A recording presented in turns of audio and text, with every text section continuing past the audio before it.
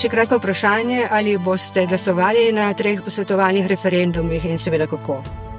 Glasovala bom uh, absolutno za legalizacijo konoplje, saj se za njo zauzemam že od leta 2014 in vsa konoplja, ki je trenutno na tržišču, je plot nekje dela moje poslanske skupine in mojih aktivnosti.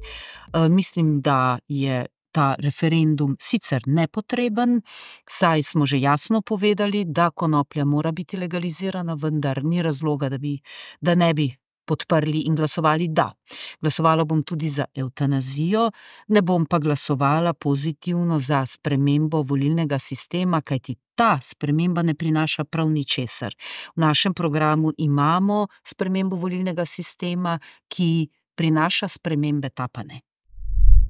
Uh, mi se nismo vključili v to referendumsko kampanjo, sam osebno pa lahko povem, da bom šel glasovati uh, in pravzaprav s tem ne nagovarjam nikogar, ker mislim, da je nepotrebno, da so na dan volitev, ampak sam bom izpolnil to državljansko dužnost in pravico in bom glasoval proti eutanaziji, za oba ostala primera pa za. Da, na vsa štiri vprašanja na treh referendumih bom glasoval trikrat, štirikrat za.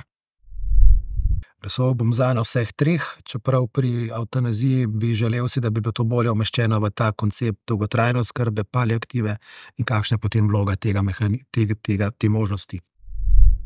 Uh, glasoval bom seveda za vse za. Seveda bom glasovala. Sem proti eutanaziji, sem za preferenčni glas, kar se pa tiče uh, uporabe uh, konoplje, pa za medicinske namene, ja, ne pa za osebno uporabo. Uh, glasoval bom na vseh treh posvetovalnih referendumih, osebno bom bil proti. Proti tudi zaradi tega, ker sem proti temu, da vlada v resnici s tem manipulira ljudi.